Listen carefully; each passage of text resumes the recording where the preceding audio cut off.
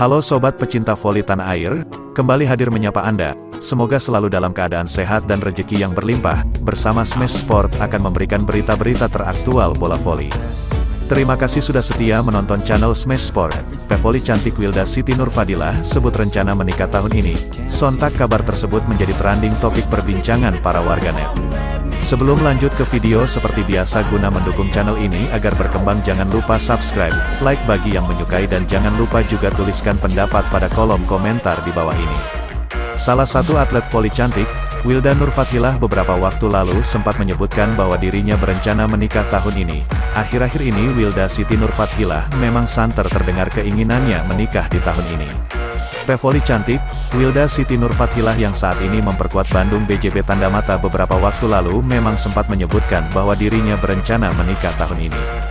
Oleh karena itu banyak volimania Indonesia yang turut mendukung adanya kabar bahagia antara Doni Haryono dan Wilda Nurfatilah. Hal itu mungkin wajar jika Wilda Siti Nurfadilah ingin segera menikah, di samping faktor usia keduanya sudah matang. Faktor lainnya sempat tersiar kabar bahwa Doni akan berlabuh ke klub Jepang menyusul Rifan Nurmulki. Tentunya tidak mau sang pujaan hati berpindah ke lain hati.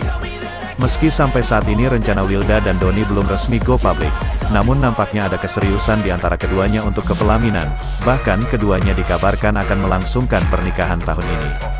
Pasalnya perempuan dengan nama lengkap Wilda Siti Nurfatila Sugandi ini sempat mengungkapkan harapan untuk menikah tahun 2022. Tak lagi menyimpan rapat hubungannya, Wilda Nurfatila kerap menunjukkan kemesraannya bersama dengan Doni Haryono. Pada suatu momen, Wilda Siti Nurfatila pernah mengungkapkan harapannya tentang rencana pernikahan.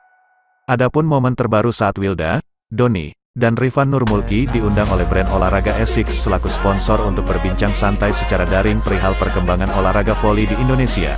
Di tengah obrolan, banyak warganet yang berhasil mengalihkan fokus ketiga atlet voli tersebut dengan gempuran ucapan selamat ulang tahun kepada Wilda Nurfatilah.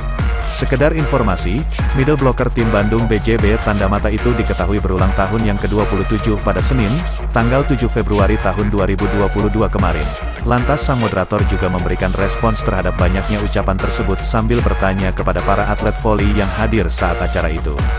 Mas Rifan udah ngucapin, ulang tahun, belum, tanya moderator dikutip Smash Sport dari kanal Youtube Tata.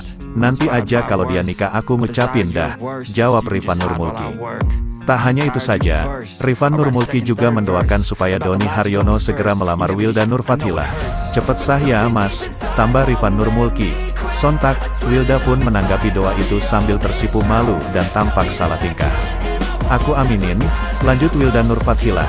Jika mendengar pernyataan itu, netizen dan volimania tanah air tentu mendoakan yang terbaik untuk hubungan Wilda dan Doni yang biasa dijuluki oleh netizen, Wildon. Walaupun keduanya belum mengkonfirmasi secara resmi tentang kapan waktu pernikahannya. Terima kasih sudah menonton video di channel Smash Sport. Semoga bisa memberi sarana informasi yang bermanfaat. Salam olahraga.